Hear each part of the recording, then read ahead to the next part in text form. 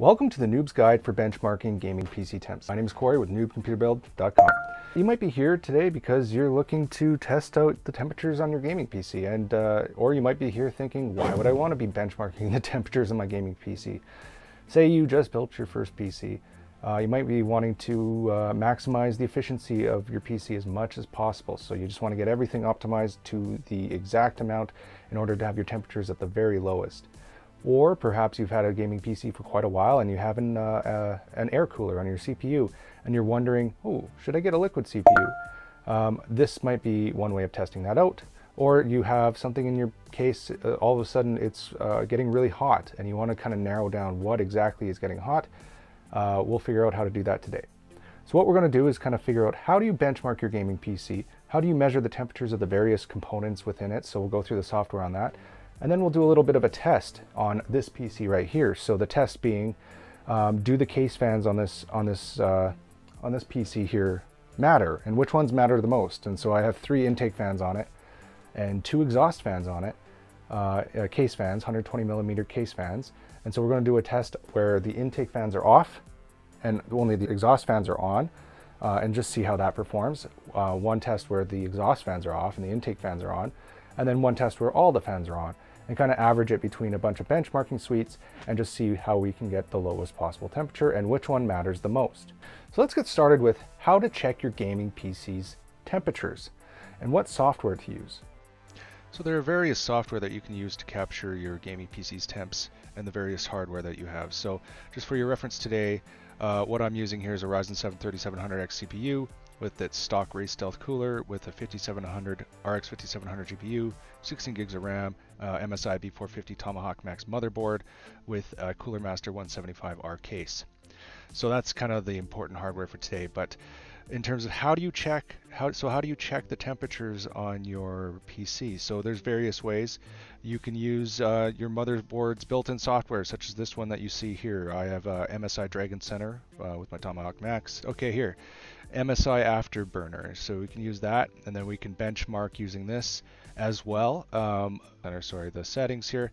Uh, we can go into monitoring and play around with that. So that's another way. That's also a great way of seeing temperatures in game. Or uh, so if you're gaming and you want to see it on the left-hand side there or wherever on your screen while you're gaming. But for the sake of today, uh, my, the one I'm, I'm going to suggest here is HWiNFO. So if we go here, I'm going to go to HWiNFO. What's up here? Uh, this one uh, I linked to the Guru 3D. Just Google it, HWiNFO, and download that uh, right here. So I'm going to open it up, and here's HWiNFO. So when you load up HWiNFO for the first time, you'll see kind of an overview of your C uh, of your PC, and then what you want to do is go to the top. I'm going to open this wider. We're going to go to Sensors, and here in Sensors, you'll see all of the sensors that your motherboard has available. So there's various ones that are different, but uh, the ones that we're going to look at today, the CPU, the GPU, and the system temperature. Uh, today we're just going to use the CPU die average. Uh, right now you can see it's at 53.2 degrees Celsius. Um, the system temperature on the my MSI B450 Tomahawk Max is 39.8. So this takes it from a sensor on the motherboard at a certain position and takes an average of what it's inside the case. And then uh, the GPU, if we go down to the bottom here, you can see the GPU temperature is at 47.8 on average, uh, with the current being at 48 degrees Celsius. And then there's other various temperatures in between. So if you want to really get technical and, and kind of narrow it down to different spots on your GPU, that's possible too. As well as you can see the RPMs of your fans. Uh, and then if we go up here, you can see the different fans on, on the various, oops, no, don't change that uh, that I have in the case, as well as the CPU fan and what RPM those are running at. So this is kind of how I would just kind of to get an overview of what your PC is operating at in terms of temperatures, including drive temperatures, etc. This is the way to do it. So how exactly do I benchmark the temperatures? So you can have, you can see the temperatures in HWiNFO, but you can also, if you go to the bottom right here, you can see logging start. So I've set up uh, in the settings so that it saves onto my desktop, but as soon as I click logging start, I have it set to uh, an F key as well. It'll start benchmarking the temperature. So I'll start a software suite, start benchmarking them, and then I'll click done on the once it's done, and then it saves it into a spreadsheet on my desktop. So I have all of the data captured, and then I can bring those into charts and graphs and things like that. So then which temperatures are the most ideal, which which matter? And so I kind of pointed out the ones that I'm um, I'm going to be using today, but they're all important. So what are good temps for your CPU? That might be a good question. I would so what I where I would start is look up uh, the the specifications of your CPU. So I mentioned that we're using a Ryzen 7 3700X today, which has a max temp of 95 degrees Celsius. So we wouldn't want to kind of get close to that, or we can get close to that, but we wouldn't want to go over that as that would be over what you'd want it. So I'd say you want it to be around 50 to 60 on idle, 80 to 90 under under load, right? So that's a kind of good general idea of where you want to keep those temperatures at. And then the, the CPU, the different temperatures on here, you have the CPU TC, uh, Tdie temperature, which is specific to Ryzen CPUs. That would report on the, all the sensors at the highest temperature of all of those, uh, out of all of those. And so that's why you can see that it's higher. The CPU die is the average reporting on the overall average of all the sensors, and then you have the T die, which is reporting on a single sensor on some edge of the uh, core die on the CPU. So today we're going to be using CPU die average for our benchmarks. So graphics card, what's a good temperature for the graphics card? Today I'm using a graphics card that typically performs a little higher than others. Uh, for one, it's it, it's the uh, blower version of the 5700, uh, which uh, inherently um, operates higher. But anywhere between 100 to 105 degrees Celsius, 85 degrees being kind of the rough average limit for most GPUs. Uh, so you want it kind of below that. A good one below 85 degrees Celsius, roughly. If you want to get other into other hardware on your computer, so you can go uh, memory, you can test the memory on there as well, as I mentioned earlier, which H, with HWiNFO. You should keep your RAM below 45 degrees Celsius to, in order to have max DDR4 uh, kind of performance. There's a guy that did a video, I just want to pull it up here, on why you should keep your RAM below 45 degrees Celsius. Uh, this fellow here This here, little fan. Um, and so what he basically finds out is that he puts a little fan above his RAM and he was able to save 70, 17 degrees Celsius. Uh, and yeah, after he tried it with higher overclocks, um, his frame rates, uh, it affected his frame rates quite a bit. So uh, good SSD temperatures between, the typical SSDs operate between 0 to 70 degrees Celsius. So again, those system temperatures, keep those down as much as possible. And then let's go down. What software can you use to benchmark your gaming PC? And what this means is how do you stress your PC out enough so that it increases the overall temperatures so that you can get a viable test out of it. And so where I would say is that you kind of want to do an all, for the sake of my test today, I'm going to choose a few and I'll get to that in a second. But here's a list right here of some good benchmark software. There's more, of course. It's not fully comprehensive, but these are kind of good go-tos. So we have Heaven as an example of uh, Unigine's uh, benchmarks, which is a great kind of GPU type 1 uh, benchmark.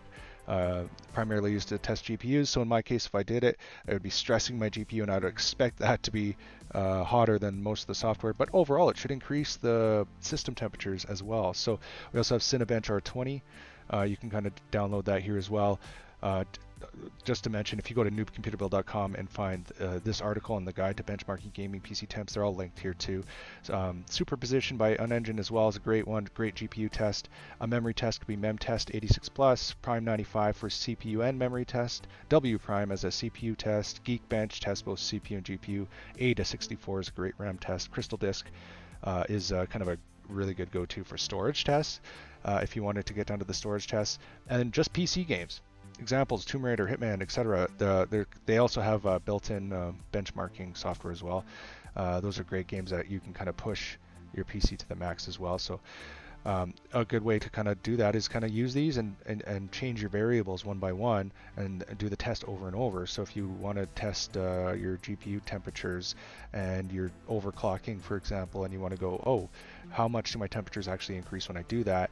Do like 3D Mark Basic Edition a few times, get an average, and then um, overclock, and then do it again, and just see, oh, how how much does it actually affect the temperatures? So like I said today, the test that we're going to do is testing the 120 millimeter fans on my gaming PC that I have right beside me.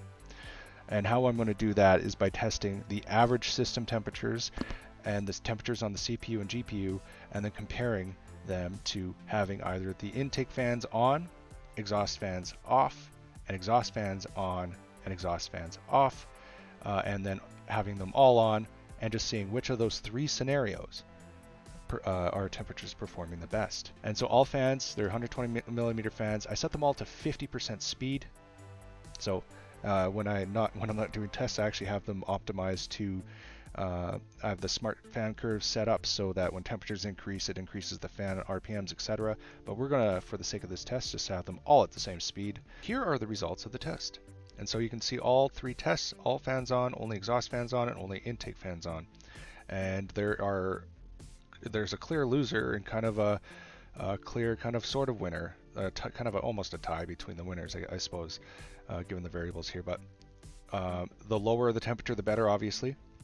And what we used here is uh, the baseline kind of idle temperature for five minutes, superposition, 4K optimized, 3D Mark Time Spy, Prime 95 CPU torture test, and then given the average. So if you look on the right here, this is where you want to kind of be looking.